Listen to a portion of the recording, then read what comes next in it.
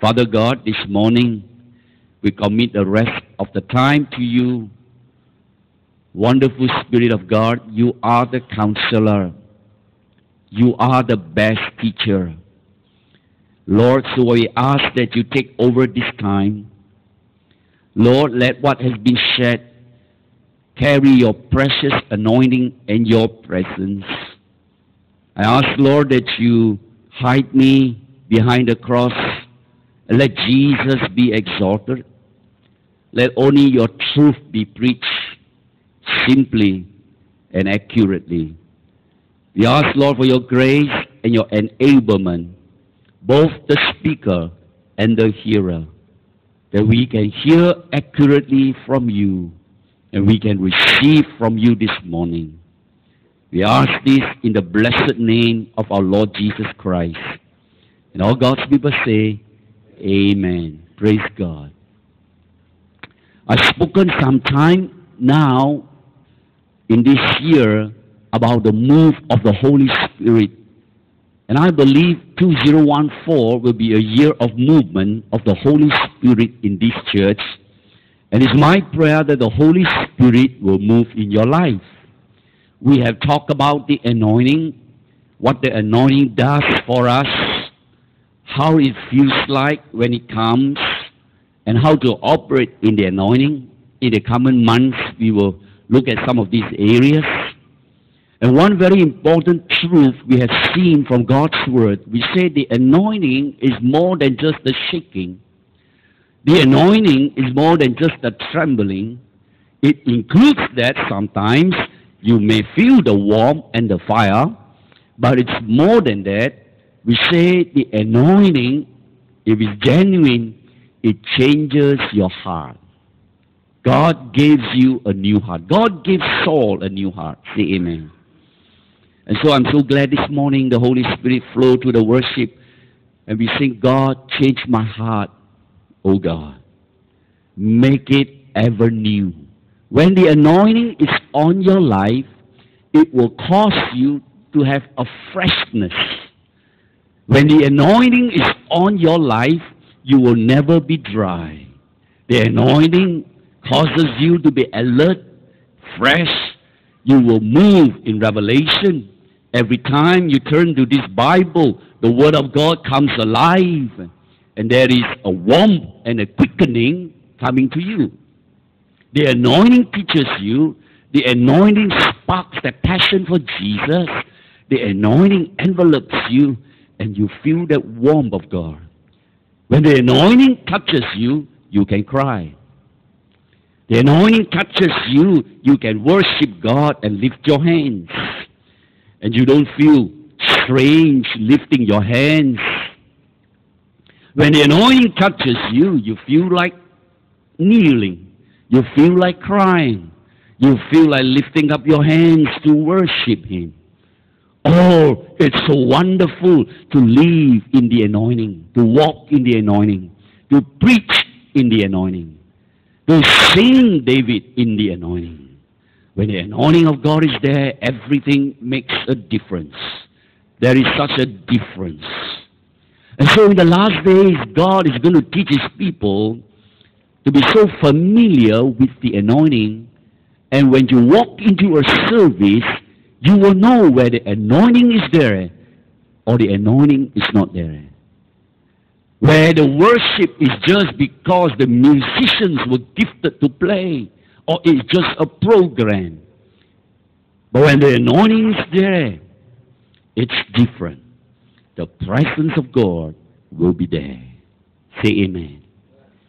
And so we have talked a lot about that already, what the anointing does and how it changes your life and how it cancels your debt and how the, it brings the blessing of God and how the anointing breaks the yoke of Satan. Because the anointing breaks the yoke, your life and my life are no longer under bondages of habits and oppression and depression. For some people, obsession. The anointing breaks the yoke of the enemy over your life and my life. So we can never overlearn this area because This is the age of the Holy Spirit. And so I begin to have shared with you a new sub area, keys to the anointing. So this morning, I'm going to share with you a message. It's in a small little book that I have written, 10 keys to the anointing. All right? How many of you would like to know the keys? You like to move in the anointing, sing in the anointing, preach in the anointing. The Bible gives us keys. When Jesus was on earth, turn to the Gospel of Matthew 16, verse 19. It's not in your slide, but just put it up for me, Kelly. Matthew 16, verse 19. Jesus says, I will give you the keys of the kingdom of heaven. I will give you the keys to the kingdom. A key is a wonderful, small little object. Now listen to what the key does. Jesus used this word. He says, I will give you the keys to the kingdom. You need a key to open a door. All right? You need a little key. It's a small little key. It may be very small, but it can open a giant big door. And when the door opens, what happens? Some of you, a few of you went last weekend to a resort to check out the place you want to have our church camp. And you came back with a good report and you said, Pastor, the banquet room was very nice. The banquet hall was so beautiful, carpeted. And you know, could you have imagined if you have gone there and whoever who was in charge to bring you there forgot to bring the key, you would not be able to open the door and enjoy and see the luxurious furnishing of that banquet room. So a key, put this in your spirit, a key opens the door to a new realm of space and experience. Say space. You experience when you walk into the banquet room or you walk into the penthouse or you walk into the luxurious apartment because there was a door and the door now, the doorkeeper has the key and when the key is being applied, it opens the door to an experience of space. And you enter into that space which you could not have entered without the key, and you walk on the carpet you look at the walls and the ceiling and you enjoy an experience. So key brings you to a realm of space and experience in the natural world. But in the spiritual world, you can also, and I can also enter into a realm of space in the spirit, an experience in the spirit. And so Jesus says, Therefore I gave you keys to the kingdom. All right? And so the topic of my message this morning is 10 keys to enjoying or experiencing the anointing of the Holy Spirit. The 10 keys. I have spoken the first key last week only. And I took a whole week to share the first key that is repentance repentance. Some of you say, Pastor, that was a powerful message. Repentance. Acts 2.38. Apostle Peter preached the first sermon when the church of Jesus Christ was born. He says, repent and be baptized, and you shall receive the gift of the Holy Spirit. In Acts 3 verse 19, he says, repent and be converted, and your sins be blotted out, and then you shall experience times of refreshing. That is the Holy Spirit. That's the anointing. And so you cannot experience the Holy Spirit and the anointing of the Holy Spirit without repentance in your life. Say amen. You cannot be saved, you cannot experience salvation unless you repent and unless you are converted. And then your sins and my sins be blotted out. Then the Holy Ghost can come here and you will experience times of refreshing. How many remember the message? Get the tape. All right? Brother Roger is very busy doing the tape for you. It will be a great blessing. Listen to it again and again.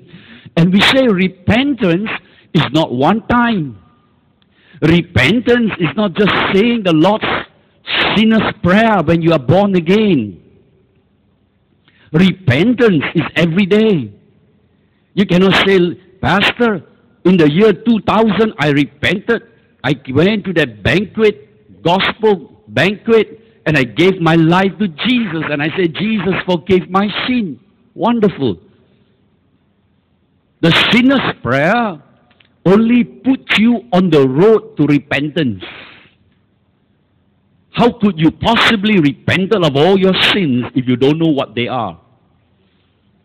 Can I hear it? Amen? And so as you grow in the Lord, the Holy Spirit comes and work in your life and you begin to realize what was okay with you now is not okay. What was alright last time you used to do now, the Holy Spirit touches you and you know it's not alright. And you say, Lord, I repent. Please forgive me. Please forgive me. Repentance is every day. Repentance is saying no, no, no to the world. Repentance is saying no, no, no to the flesh. Repentance is saying no, no, no to the devil's temptation. And saying yes, yes, yes to God. Moment by moment, week by week, year by year. As you grow in God, you live a repentant life. Say amen. When the Holy Spirit shows us something wrong, when the Holy Spirit begin to convict your heart, you must and I must be quick to say, I'm sorry, Lord. I'm sorry, Lord. Please forgive me. I repent. That's repentance every day. I repented last night, but I need to repent again today. If God shows me something I do wrong, I must be quick to say, I'm sorry, Lord. Say amen. That's repentance. Repentance is no longer living the old life. Tell your neighbor. Tell your neighbor, give up your old heart. Come on, tell your neighbor. Give up your whole old heart. Take the new heart. Take the new heart. You see, when John the Baptist came, now I don't know why I'm going back into repentance. John the Baptist came, the people asked him, What must we do? And John says, If you have two, two sets of clothing, just share with somebody who have none. And then the soldiers came to him and said, What must we do? So he told the soldiers, Do not bully. Do not use your force to bully. Do not make false accusation. Be content with your wages. Then the tax collector came to him and said, What must we do? He told the tax collector, Don't take more than what is necessary.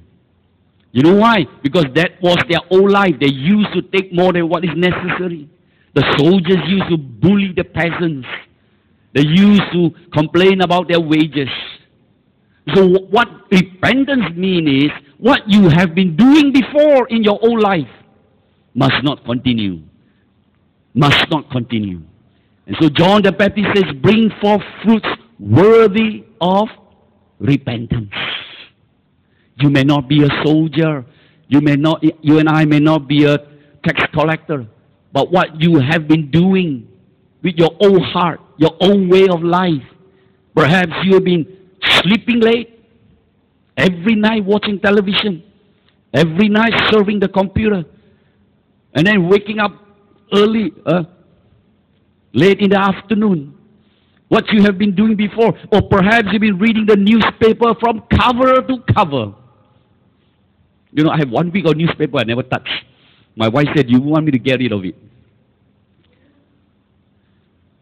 Some people read the newspaper from cover to cover, but they have no time to read the Bible.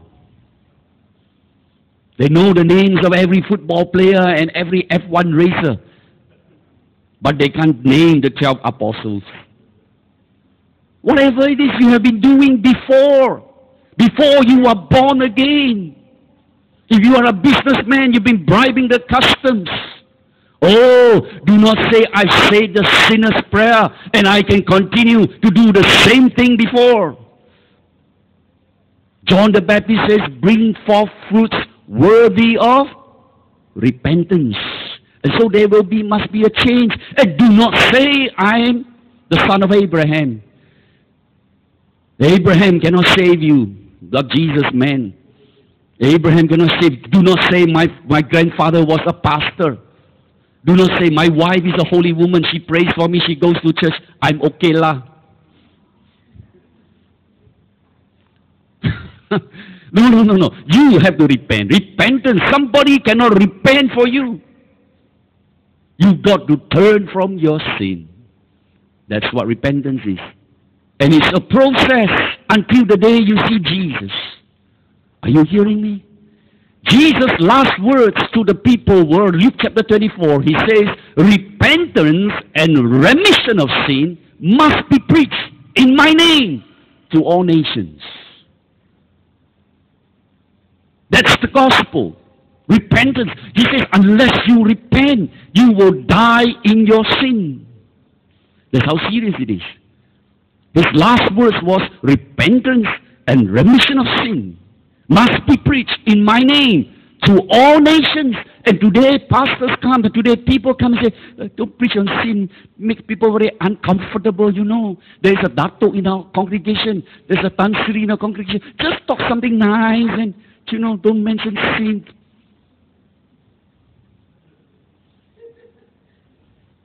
I need dato here. oh, there's a Tan Sri here, you know. Don't give an altar call, people crying and all these things, people kneeling down before God, and it's all messy, you know. Just have everything nice, nice, nice.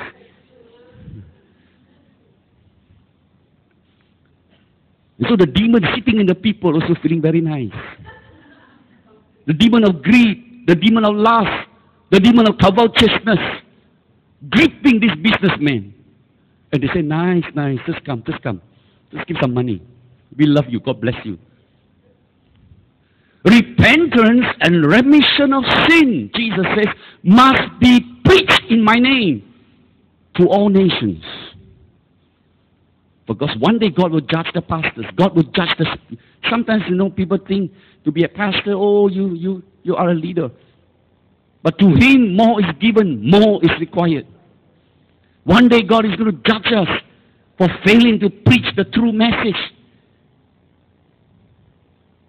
And so we saw that repentance is the key to receive the Holy Spirit, the anointing. I've taken the whole Sunday to talk about that. That's the starting point.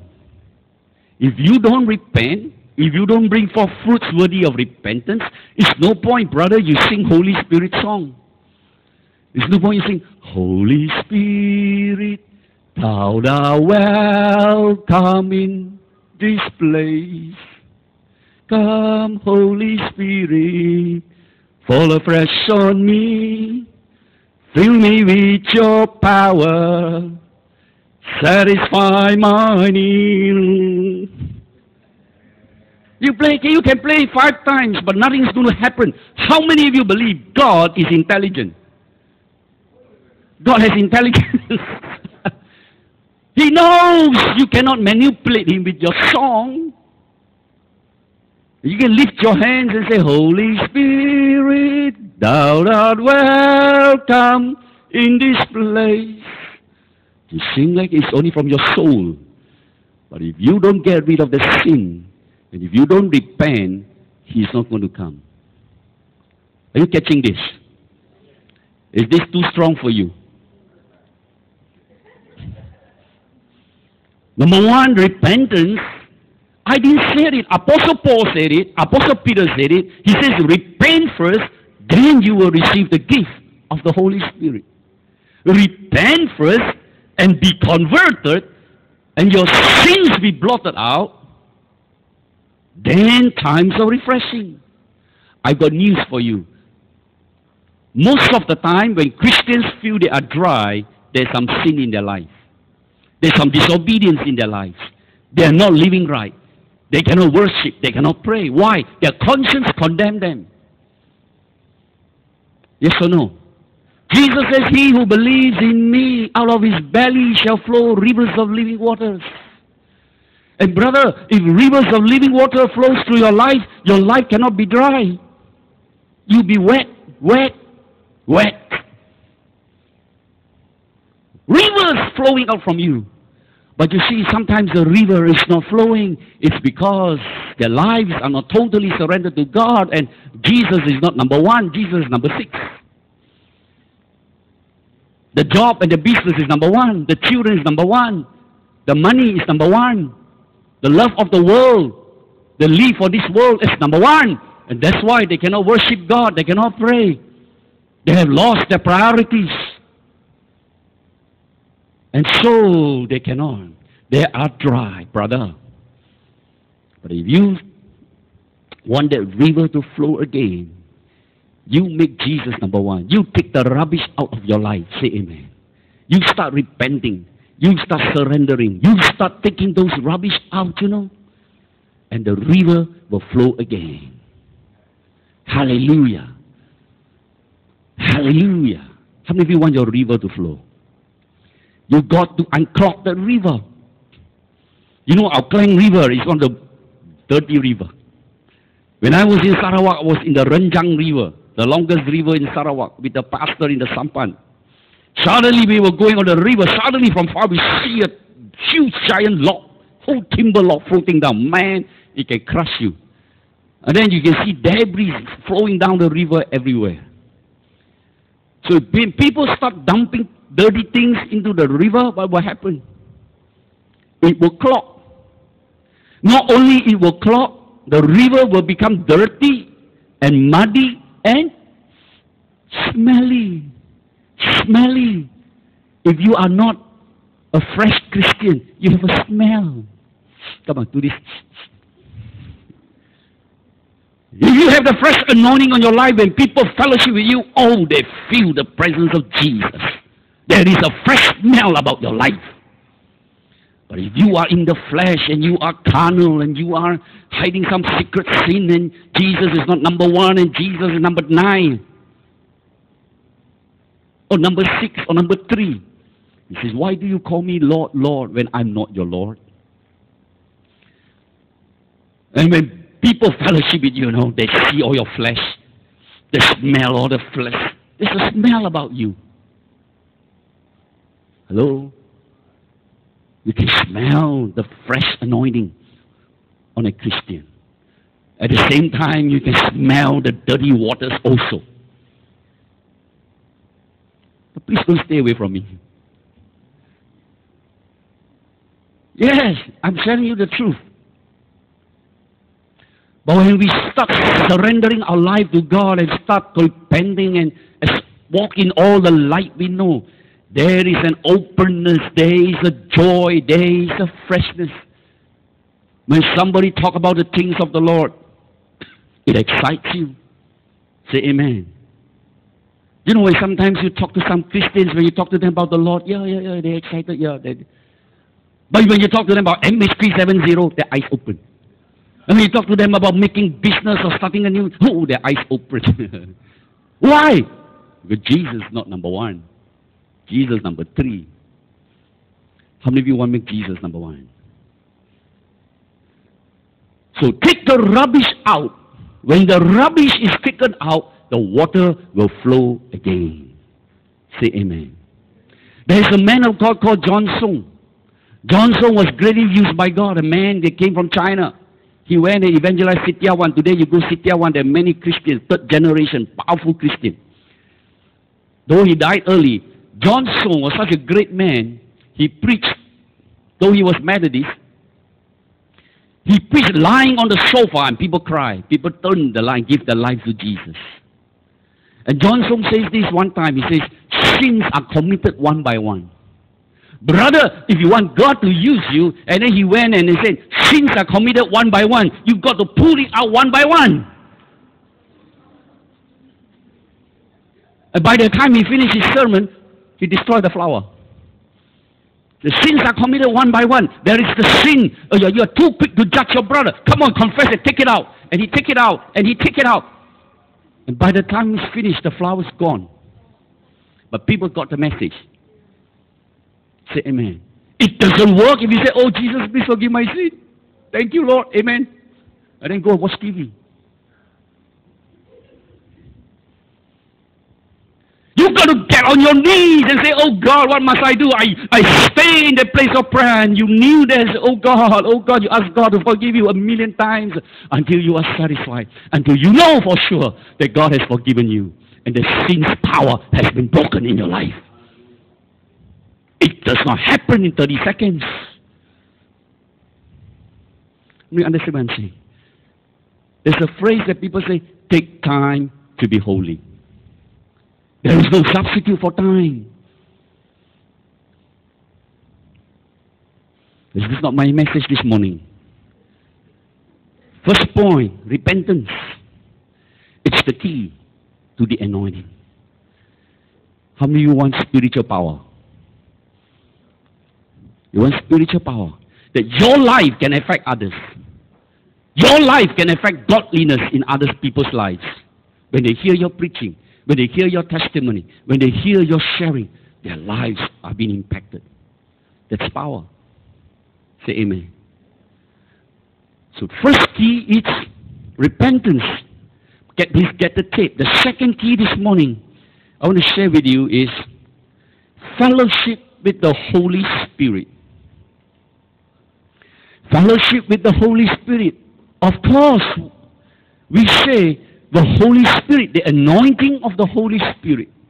The anointing of the Holy Spirit. It's the Holy Spirit that is the key.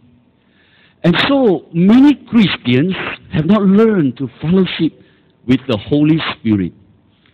The Holy Spirit is not just fire or wind or power. Paul says in these two verses, in Philippians chapter 2, verse 1, he says, any consolation of Christ, if any comfort of love, if any fellowship of the Holy Spirit, he says this. Then in first or second Corinthians 13, the last verse, he says, The grace of our Lord Jesus Christ be with you, and the love of God, and the communion of the Holy Spirit. In other words, you can fellowship and have communion with the Holy Spirit. You have communion with Jesus.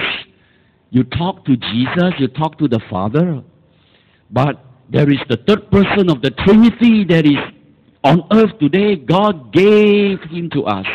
Jesus gave him to the church. And when you learn to have fellowship with this person, your life will change and you will grow in the anointing. A fellowship involves a few things. Now, Harris, if I want to know you, do you know that it costs me something to know you? You say, What is that, Pastor? If I really want to know you, it will cost me something. Harris, if I want to know you, I must reach out my hand to you and I must, number one, take time. Time costs you something. It costs you your life. If I invite, I say, Harris, I just want to touch base with you. Look at them, you're so handsome. If I say, Harris, I want to know you and would you like to have lunch with me today after church? Harris say, oh, wonderful. And so I take him out for lunch and I sit down with him. It may cost me two hours of my time. And we, two hours may run to four hours because Harris then begin to tell me about his life back in Nigeria. And then he tells me about his plan here in Malaysia and about his vision and dream. And so, fellowship involves effort, time, and openness. Put these three key in your life. It involves your time.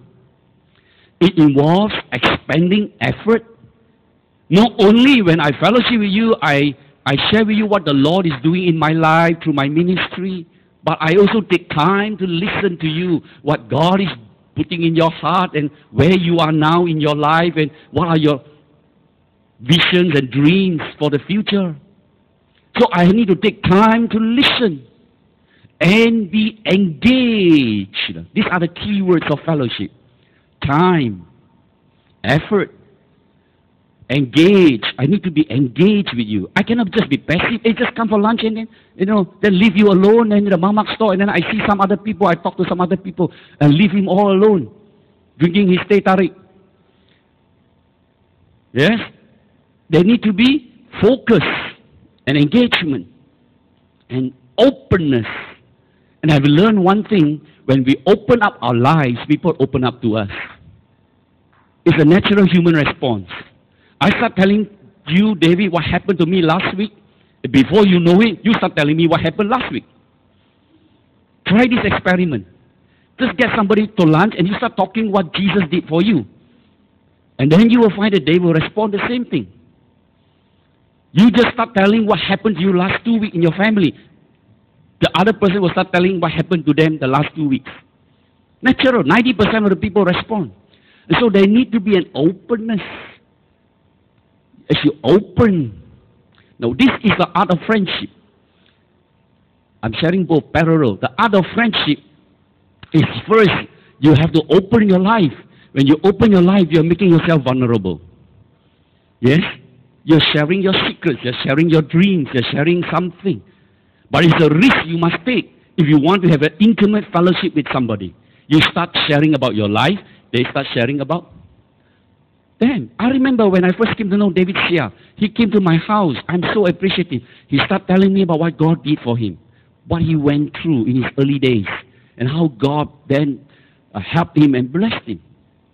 And because of the sharing, there is that relationship. It is real in the natural world, and it's also real in the spiritual world with the Holy Spirit. He is the friend. You have to take time. It may be an hour, it may be two hours. If you never talked to the Holy Spirit before, you may feel very strange and say, Holy Spirit, Pastor say I can talk to you. And so, Holy Spirit, please show yourself to me. Then you wait. Nothing happened also. Hello, you have not spoken to the Holy Spirit for the last 30 years, and you just expect Him to reveal Himself to you in the next 15 seconds. But you keep trying to do that. Holy Spirit, they say, I can know you. Kathryn Kuhlman says, when you know Him, He is more real to you than the air you breathe. Why? He is more real to me than my husband. Oh, how can that be? My husband. Honey, do you know me? You can see me, you can feel me, you can touch me. How can the Holy Spirit knows me, my, me more than my husband? We can. Do you know why? The, you can only see what is, you can only see what is outside. You can't see what is inside. You, you, you can know about David through a certain measure from your experience with him. You live with him for the last 30 years. But the Holy Spirit knows everything about him. He knows the inside and the outside and what he will do. Under certain situation, how he will react. And so if you know the Holy Spirit, He's more real to you than your wife and your husband. Ah, then I understand. Oh, I see. And so fellowship with the Holy Spirit, time, effort, openness, engagement. These four key terms. You can apply these four key terms in relationship to, in human relationship. Thank you. How many of you want to develop the art of friendship? Yes? Some people say, I know friend one, nobody love me one. Don't say that. Making friends is an art. Say amen. Yes? You start sharing about your life. You see, many people will come and share their life about you, to you. You get engaged with people, people engage themselves with you. You focus. You take time to listen. Everybody loves to have a listener to listen to them. When, they, when, when you listen to people, many people will flock and tell you many, many things in their lives. You will never run short of friends. Say amen. And so with the Holy Spirit, but there's one big difference. When you when you fellowship with somebody, Harris, if I want to really have a good friendship with you, I must have respect, honor, I respect your viewpoint, I, I listen to you, that's your view. And we all have that in the natural. But when we come with the Holy Spirit, there's a different aspect because the Holy Spirit is not man. The Holy Spirit is God Almighty. He is Almighty God. And so there is a similarity, and yet there is a difference when you fellowship with the Holy Spirit. Oh, there must be that reverence. There must be that reverence that you must give and acknowledge in your life. When I fellowship with people, I know to what degree sometimes these people reverend God and reverend the Holy Spirit. The Holy Spirit must be given His reverence in your life. The Holy Spirit must be given His uh, right, His rightful place in your life. Let me say this again. The Holy Spirit must be given the reverence in the church and His rightful place in the church. He is the Lord of the church. Say amen.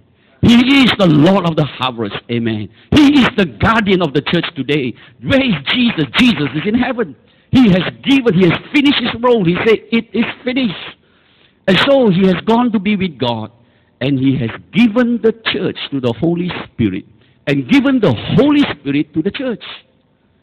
And so the church must learn to give him his rightful place. When the church acknowledge him and say, Holy Spirit, this is your worship service. Holy Spirit, this is not our service. When you go into a cell meeting, when the meeting is about to start, you must have that reverence in your heart. Holy Spirit, you are here. You are the unseen guest.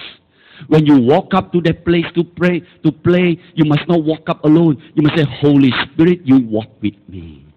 Holy Spirit, this is not my ministry, but your ministry. Say amen.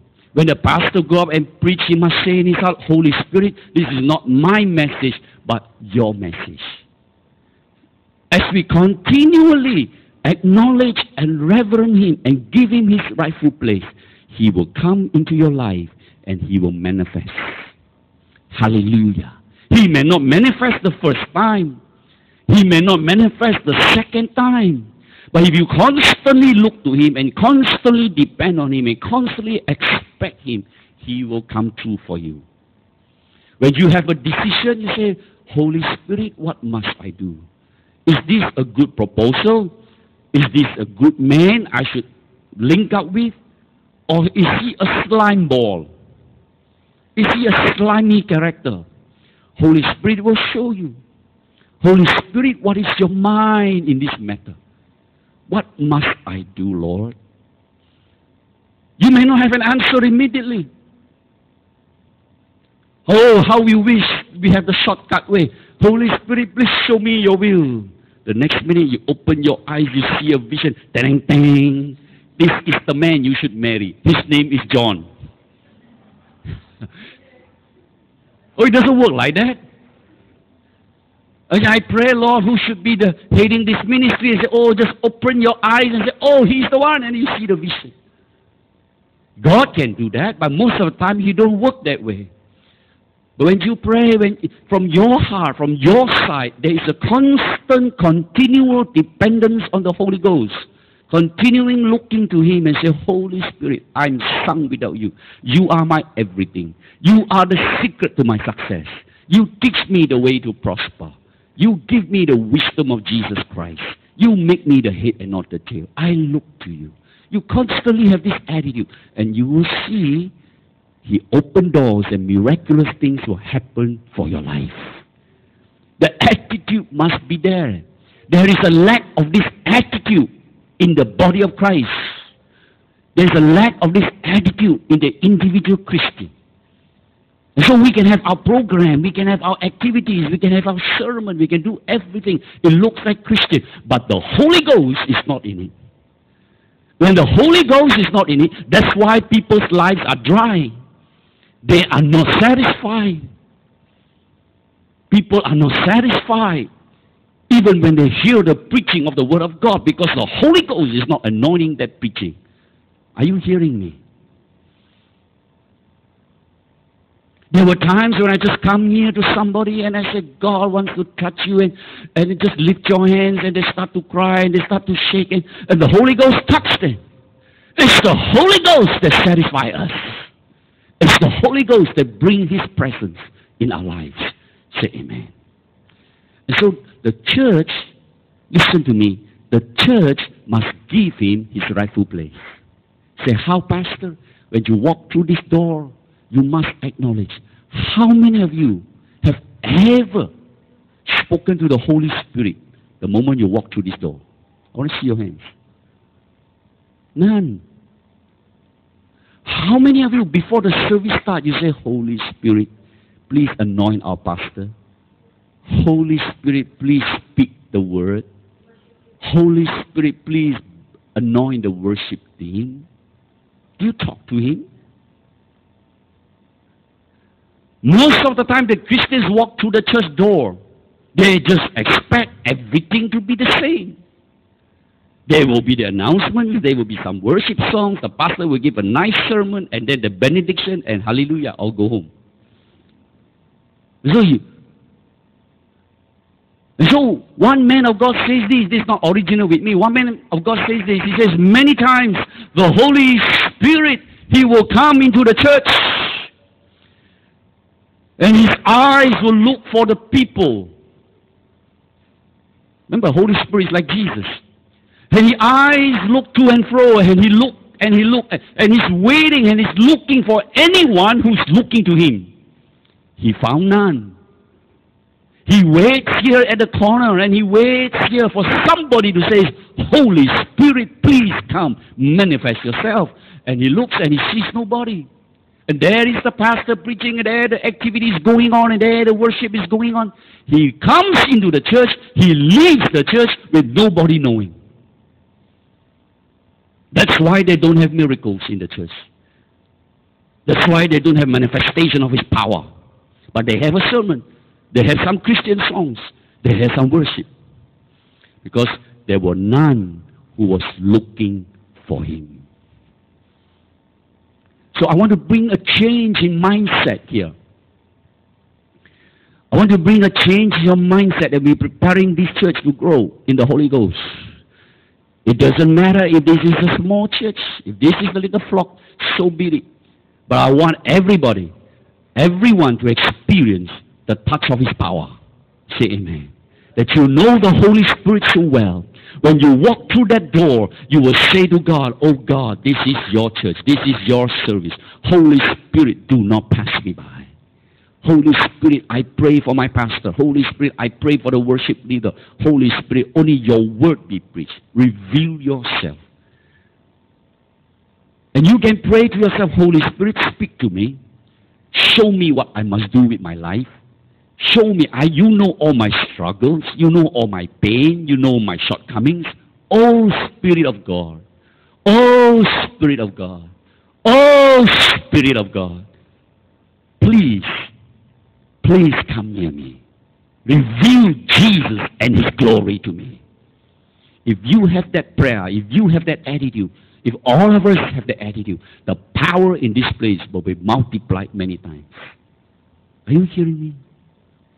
But many people walk through the door and they will talk and they will be flippant, they will be careless, they will be, the mind is everywhere except with the Holy Ghost. They are not giving Him the reverence. Say Amen. And sometimes when the Holy Spirit is moving people, you know, when the pastor is preaching in some church, he's giving an altar call and the Holy Spirit is moving, people are crying.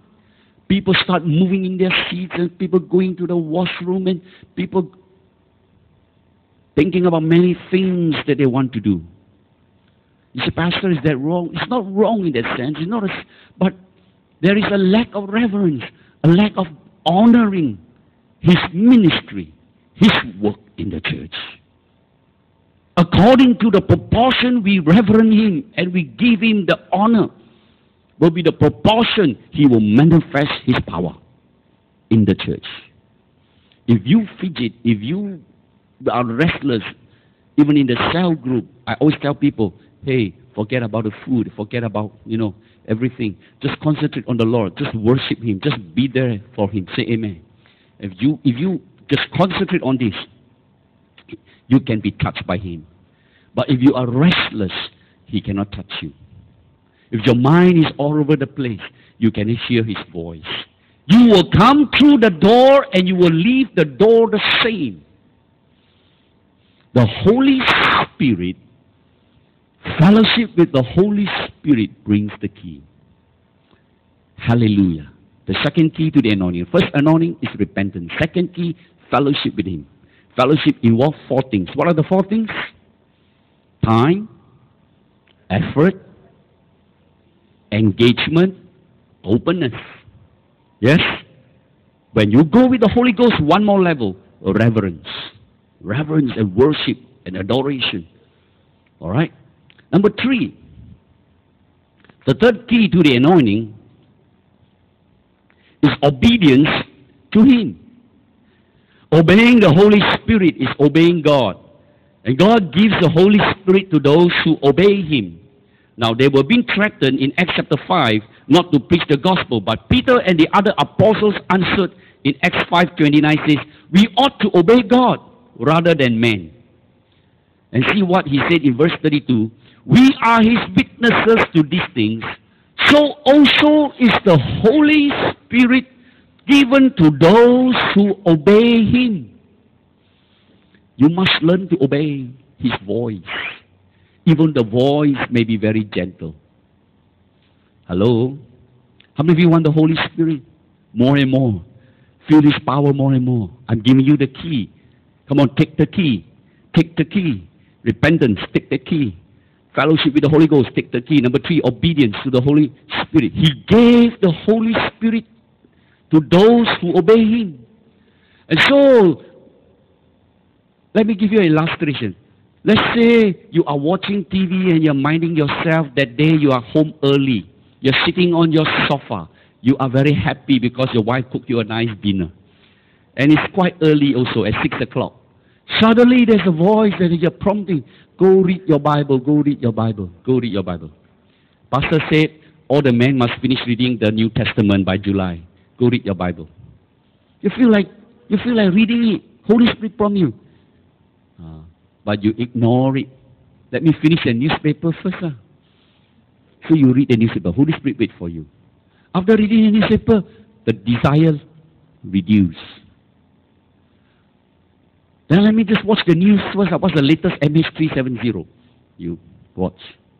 By the time you finish the newspaper, by the time you finish watching the latest news in Panama or MH370, the desire to read the Bible is gone.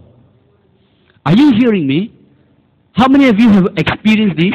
When God asks you to do something and you don't do it immediately, the desire less and less and less. Holy Spirit will not force you. Holy Spirit is very gentle. He moves upon you. Holy Spirit touch you and say, come early lah to church. Pastor say, come by 10.15. Have pre-service prayer.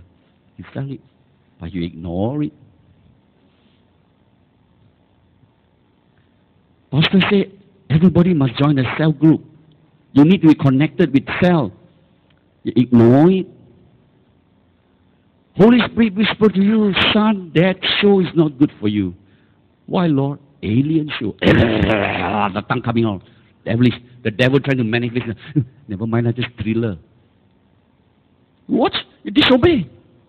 And after that, I guarantee you, you watch the show, you have no more desire to read the Bible and pray. You cannot pray. How many have had this experience?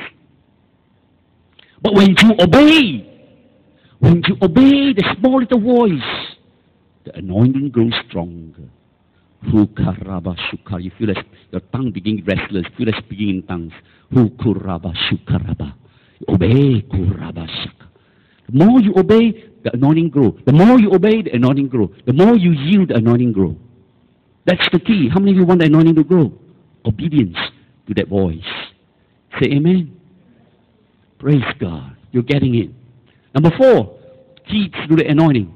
Spiritual hunger. Oh, I'm going to share this with you. As the deer panteth for the waters, so my heart longeth after you. We sing the song. That's where they got it. My soul thirsts for God, for the living God. King David wrote Psalm 42. He says, When shall I come and appear before God? My tears have been full day and night, while they continually say to me, Where is your God? King David loved God so much. Listen, learn. King David has been called the man after God's heart.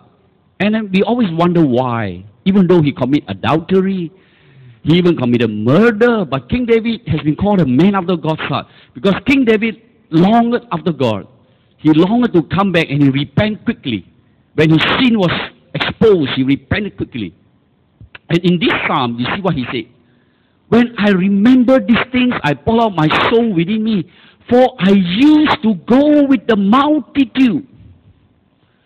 I went with them to the house of God with the voice of joy and praise, with a multitude that kept the feast.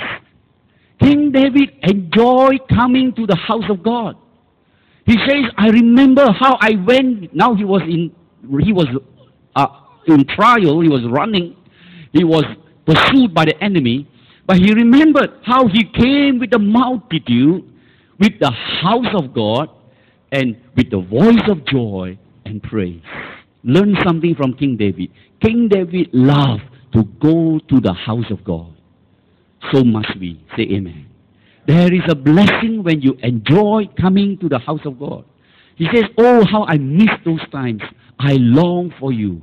Now, as the deer longeth after the water brooks, so my heart longeth after you. This phrase, this psalm, talk about God is the oasis of water in the midst of a dry land, in the midst of a dry and thirsty land. God is the oasis that satisfies you. When the deer is in the desert or in the mountain, it thirsts and pants for the water brooks. All right? I'm going to bring you a revelation here. The river, the water speaks about the Holy Spirit. The water speaks about the presence of God. And the deer, he says, as the deer panted after the waters. I did a research, a quick research about deer. Deer has very strong legs. And deer has a very compact body. All right, you look at the deer. It's a wonderful animal. And deer have two very strong characteristics. It is a great jumper. It can jump on the Rocky Mountains. It, it, it gallops. The legs are very strong. And deers are very good swimmer. Okay? Now, it has been said when the deer is being pursued by the lion, say the mountain lion, is one of the main enemy. They come and kill the deer, they pursue the deer. The deer would run for its life. In today modern hunting, there is deer hunting in Australia, in some certain parts of America. Deer hunting is legalized, and they will bring hounds. You know what are hounds? dogs. There are two kind of hunting dogs. One kind of hunting dogs will be the dogs they can see, sight, and they run very fast. So the dogs will run after the deer, and the hunters will follow with their rifles. Okay? That is the based on sight. There is another kind of hound, a dog, that does not follow sight, but follows smell, the scent. These hounds don't run as fast as those following the sight, that they are called scent hounds. They chase after the deer based on their sight. They can smell that sight of the deer. It has a smell. And it follows sometimes many miles. It can follow that where the deer, the track of the deer. And they will bring the hunter right to where the deer is. Now, the deer has such a wonderful ability to swim. It has been said that when the deer gets into the river brook and it swims, it loses its smell. And when it loses its smell, the hound cannot find where it is, cannot locate where it is. So this psalm brings that revelation. As the deer panted for the water brooks, it thirsts for the water when it is in the desert. It looks for the water because when it gets into the water, it's safe. It can swim and it loses its smell. I want to show you a video clip how the deer swim. It's only one minute. I found this on YouTube. Reverse backwards. Just to show you how the deer swim very well. Here it is, it's crossing one of the Missouri River. See, that's the deer.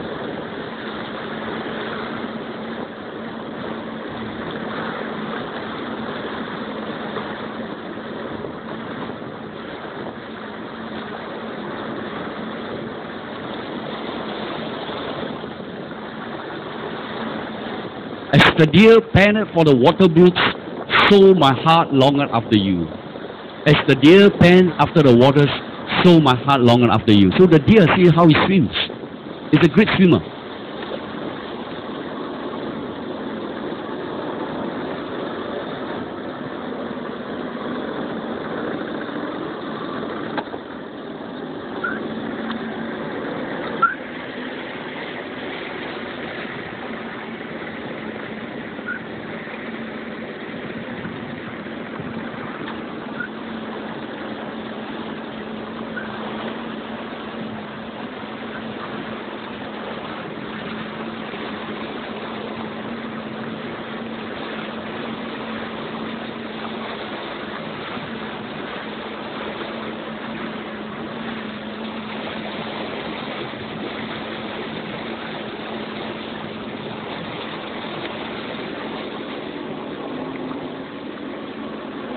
Wow, look at that.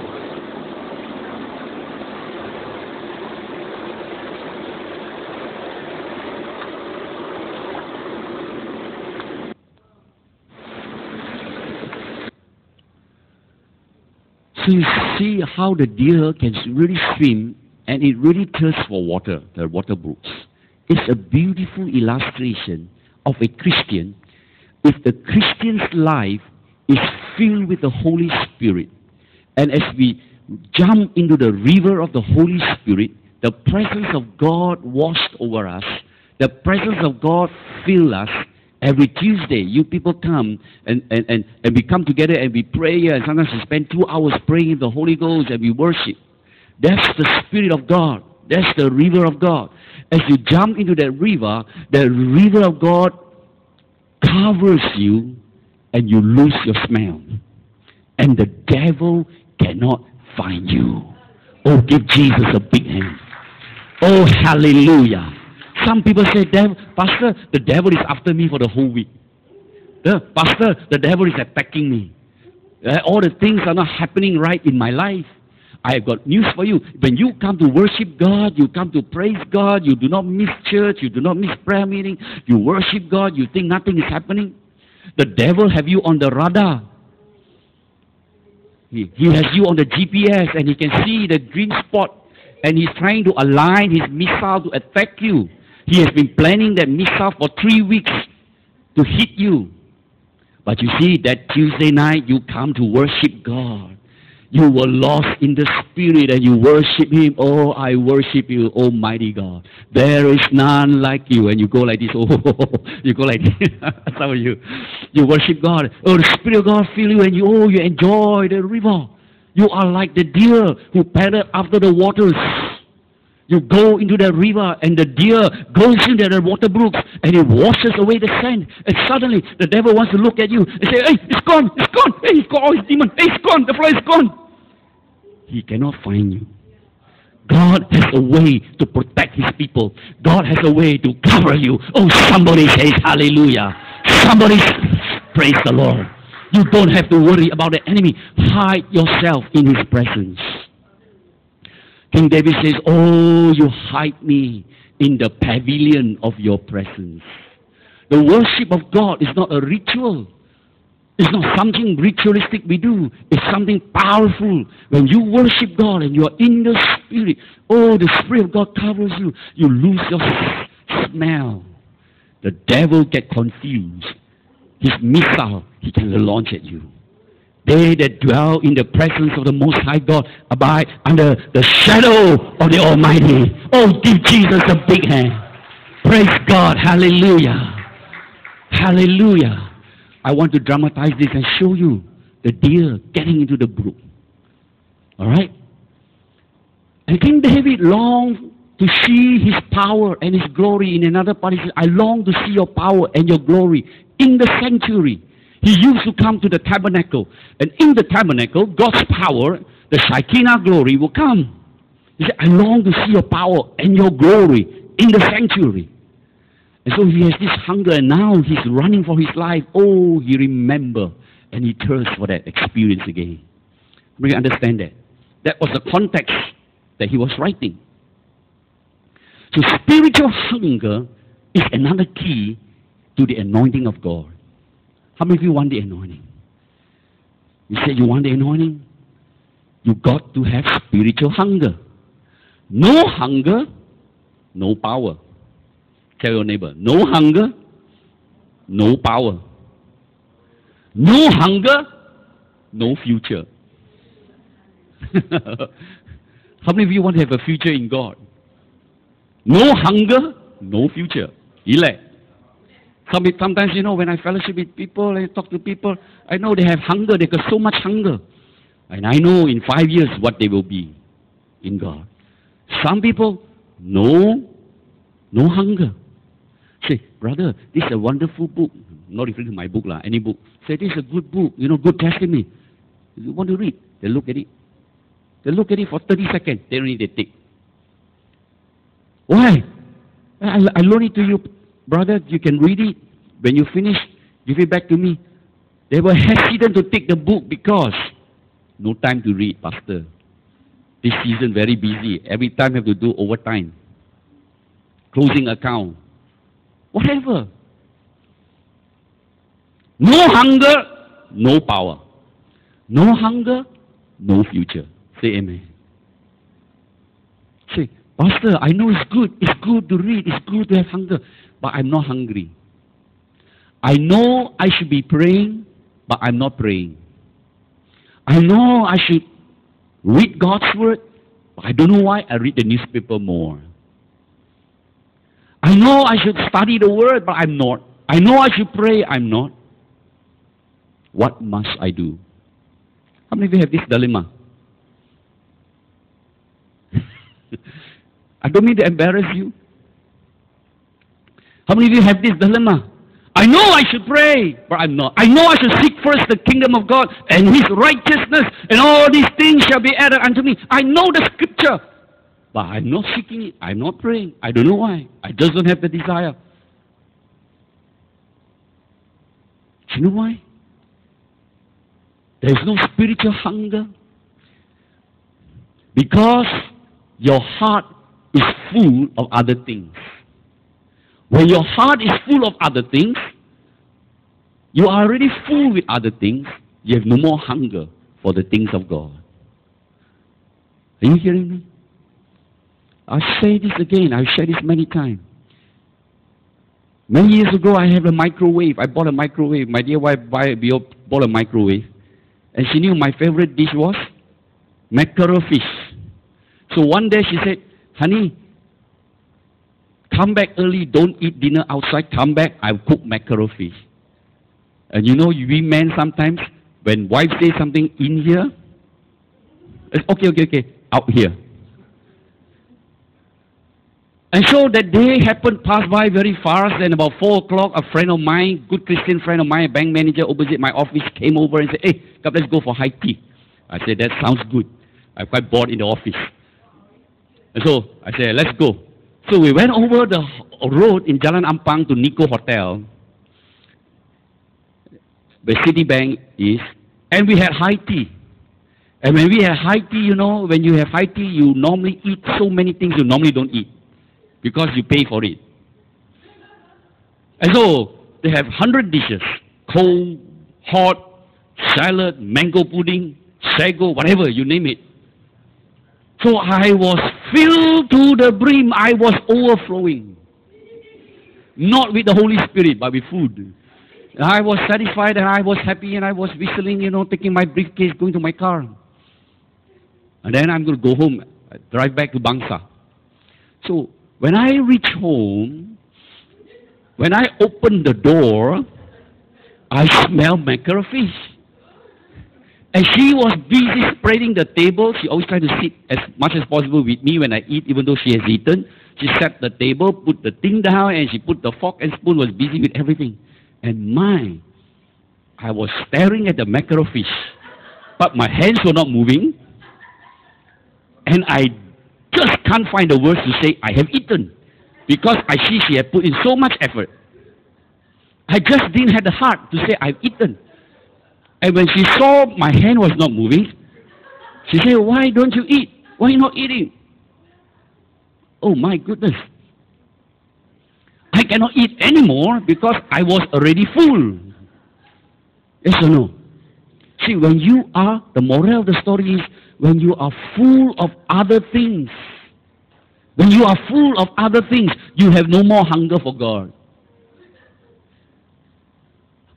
How many of you want the hunger to return?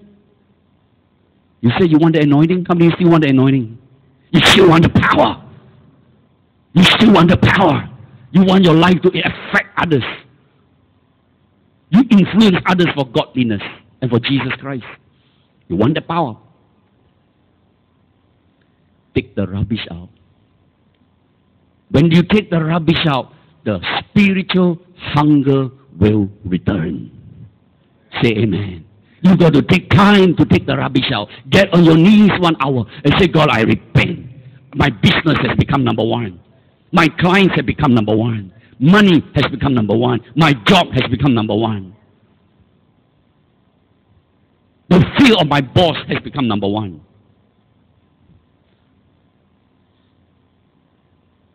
And you stay there. It won't work for you. It's just 30 seconds. You stay there in the place of prayer and you stay there on your knees and say, Oh God, help me. I repent. There's something, Lord, I must repent. Pastor has been talking about repentance. And you are not number one in my life. And I know it and you know it, God. I must repent. Now, when you do that and you mean it with your heart, the power of the Holy Ghost will come and He takes that out of you. You may, I'm not saying you resign from your job. I'm not saying, David, you close your business. I'm not saying you quit. I'm not saying you, you, you, you, you disrespect your boss. But something happens in your heart. Your heart is now set on God. Say amen. You may still have to work. Yes, but your heart set on God. And Jesus get promoted to be number one. Hallelujah. Take the rubbish out. If you want spiritual hunger, it's simple. Take the rubbish out, and the hunger will return. Hallelujah. Say, Lord, I give you my business. Lord, I give you my children. Lord, I give you. People ask me, how you find a passion? How you find a passion to pastor the church? Go on 40 missions. Every year on two or three missions. You have a business to run. Some of the clients are big clients. I say, it's easy. I learn how to apply the brake. When it comes to Tuesday, I say, even you are Dato, you are Tan Sri, I don't care who you are, my church comes first. The cell meeting comes first. Even the cell is only two people. I learned when I was just starting before I pastored the church. I was asked to lead in a cell group. And the cell group was in Cheras. My pastor says, You are an old Christian, Francis, and you can help some young Christians there in Cheras. I say, Oh, all right. My son was a baby, and me my wife, just the first son, baby, we carried the baby in a car. And I remember a few occasions where a very important client, a VIP client, they said, I want to come in, I want you to come over to my office at 6 o'clock. He's a doctor, corporate guy, and people will lose money, purposely lose money to play golf just to be with him. They play golf with him, purposely lose to make him happy. and he says, hey, I want to see you. Can you just come up over to my office? And he says, I can't. Can you imagine? He's, he's a chairman of a bank. And he says, I can't. What do you mean you can't? He's so used to people coming, calling, you come. They come. And he said, I can't, sir. Said, I can't today, but if any time tomorrow, day after, I can. I can go to I have something on this evening. But you know, to my amazement, it's still all right. God still back you up. God still give you the favor. Say amen. But if you say, when I'm free, only I come lah for sale. When I'm free, only I come to church lah. When I'm free first lah. You will never be free because the devil will make sure you always have a distraction. Are you hearing me? You've got to learn to put God first. You've got to tell your boss, no, I can't. And see whether you will lose your job. If God is God, see whether you will lose your job. If you lose your job, it doesn't matter. God will give you a new one. Oh, you miss a good place. Say amen. People, if you believe that God can give you eternal life and God can take you to heaven, you cannot believe that God will give you another client and another job, even if you lose that. It's about time you stand up and not be intimidated. It's about time you stand up and not be intimidated by the devil and the circumstances of your life and make Jesus number one. Somebody says amen. Somebody says praise the Lord. Somebody says hallelujah. Say this with me. No power, no, no hunger, no power.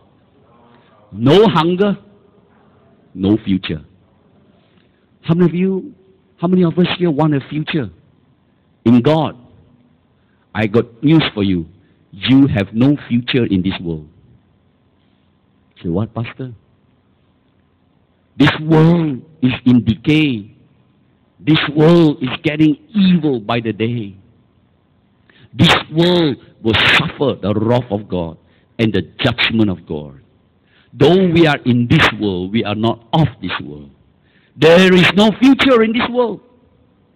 But there is a future for you and me in God. You miss a good place to say amen. Come on, give Jesus a big, big hand. Shout glory, somebody. Shout hallelujah, somebody. My future is in God. How many of you believe? I believe it with all my heart. There is no future for me in this world. Look at this world. Look at the decay, the corruption, the flesh. Even if you have all the glamour and all the wealth, oh man, oh sinner man, where will you run to? Oh sinner man, the song says, where will you run to on that day? Oh sinner man, where will you go to? There is no future. But God has given us a glorious future in Him. Our future is in Him. Are you understanding me? Our future is in Him. So, what is the future, Pastor? What is the future? You will live forever. And forever. and forever. And forever. And forever. And forever. And ever. And ever. And ever. Oh, shout glory!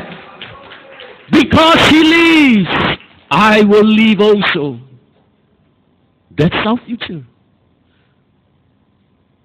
The world is passing away. But because we are in him. Listen to me. When we get to heaven, don't think heaven I'm deviating from this. I can't finish all the ten. I'm closing. When we get to heaven, not all of us will be the same. The Bible talks about God will give not only rewards but responsibilities and tasks. Some will be tasked over ten planets. Some will be tasked over five stars, three stars. In the heavens, we will reign with God according to our faithfulness according to our spiritual development and our growth in this earth, so will we be assigned the position and recognition and responsibilities in the heaven. Our future is great. Our future is in God. Brother, there is no future for you in this world. You think you have a future, it's only 70 years and it's gone. You give all your life for the 70 years to live for this world, it will be over very soon. But for eternity, we will reign and rule with Him. That's my future. Oh, Jesus. Come on, somebody. Stand to your feet and shout hallelujah. Stand to your feet and praise God. Hallelujah.